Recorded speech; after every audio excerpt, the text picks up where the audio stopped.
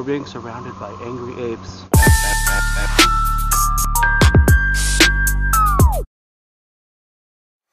Hi everybody, Mark, Sasquatch Habitat Investigation Team, coming to you from a place where we have found footprints in the past uh, and less than five miles away from where we had our, our first sighting that we got on thermal. If you haven't seen that video, uh, it's on YouTube, go check it out. Um, saw this, thought maybe it would be interesting enough to come and, and take a look at, but I think it's all natural after we started looking at it. Um, there are some down stuff around here. We're right on the edge of a lake. Uh, and we're actually very close to a highway, but to get into this area is very difficult. Um, I don't know if you can see down here, but there's all these uh, trailing blackberries everywhere, and they are covered with thorns, and they like to grab you. And um, so it's difficult to get through. Uh, it took us a few minutes just to get in here. Um, now we found another structure-like thing over here, and I'll show you that real fast. and it may very well be natural as well. But since we found three of them together, you can hear the motorcycles running on the highway out here. But from the highway, if, even if you were to park right out there, uh, you'd still have to go through about four feet deep of blackberries and Oregon grape and wild roses and trailing blackberries just to get in.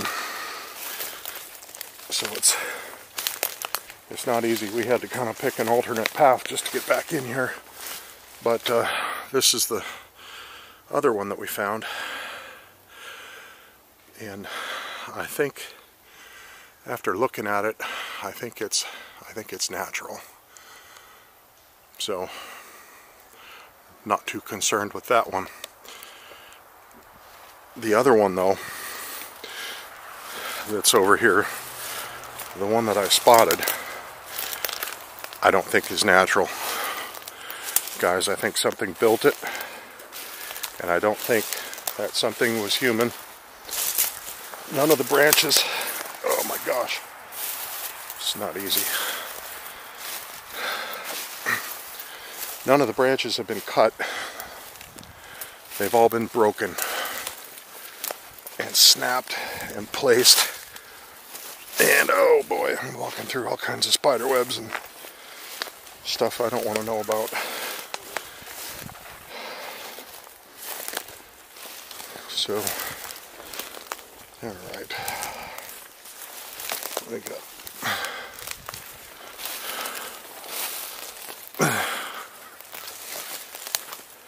These thorn bushes tearing at my clothes.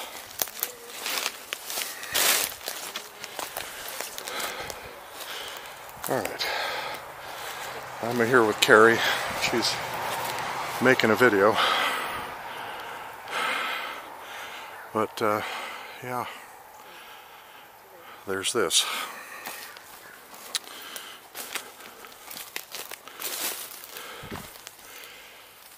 You can kind of see some of these thorns. This is blackberry here. Fortunately, ouch, my legs are pretty long, so for me, it's easiest just to moose walk right over the top of them. Although I have thorns in my leg right now. So, yeah. Um,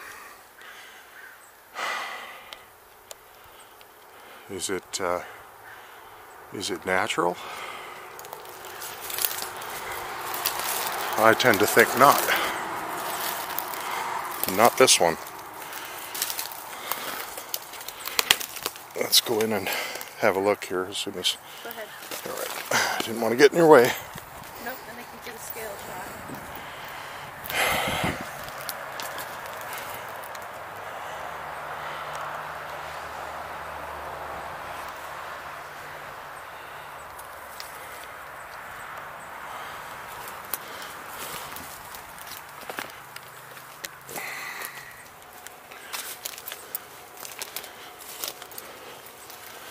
So this looks like they were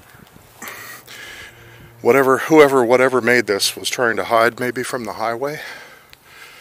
Um, but also inside here looks like a lot of the stuff has been cleared out and moved over to the side here right in here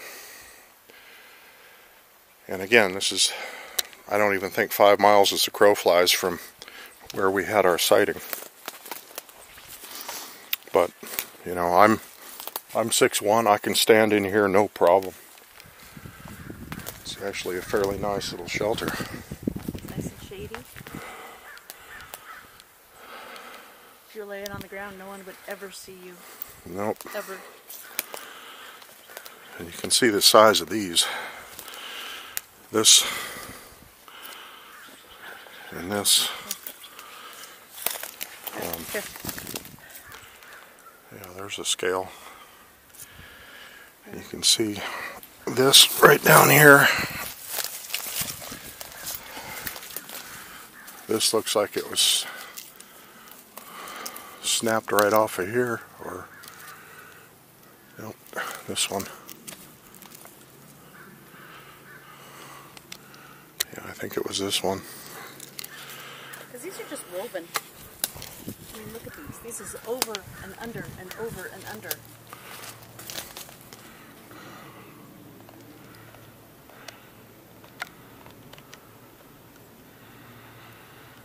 It's crazy stuff. It's beautiful. Anyway, thought I'd share that with you guys and uh, get a video up. We've been going out almost every single weekend. Haven't had a whole lot of success with, with anything. We've done a couple of follow up um, investigations on uh, some sightings and some audio stuff that uh, that we've heard. Um, but I, I didn't make any videos about it. It really wasn't very exciting. But I think this is kind of an interesting find. Anyway, it's Mark from Sasquatch Habitat Investigation Team and Kerry from Lane County Bigfooters signing off.